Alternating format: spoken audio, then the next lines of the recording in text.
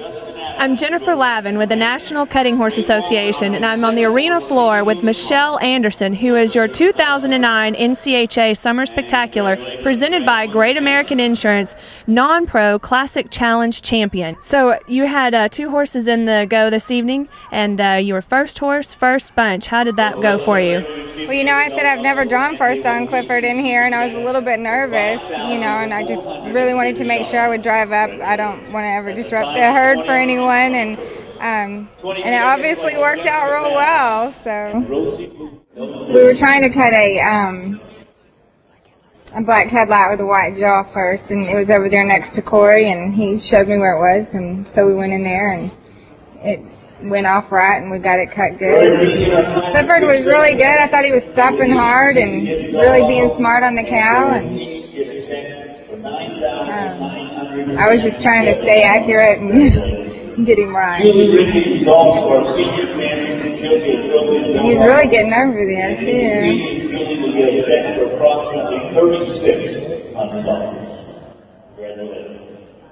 And what was your second cow? I cut a, uh, she was kind of a yellow mott, huh? Kind of an orangey yellow mott. Corey liked her. We talked about her when, yeah, when we were settling.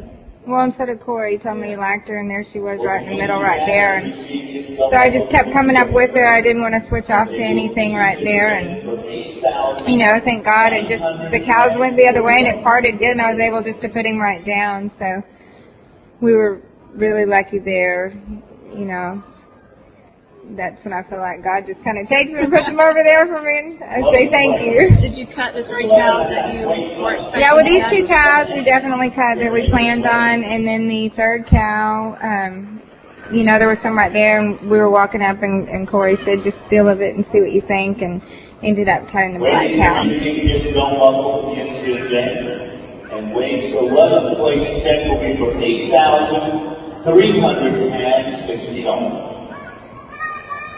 Which one are you going for? I'm not really going for one. I end up cutting um, the black one that's standing there. She, you know, acted like she was going to be the best for me, and I was hoping that they didn't end up tangling up. And you know, I thought he'd just finish strong and stopped hard, and was, you know, he just really did did good.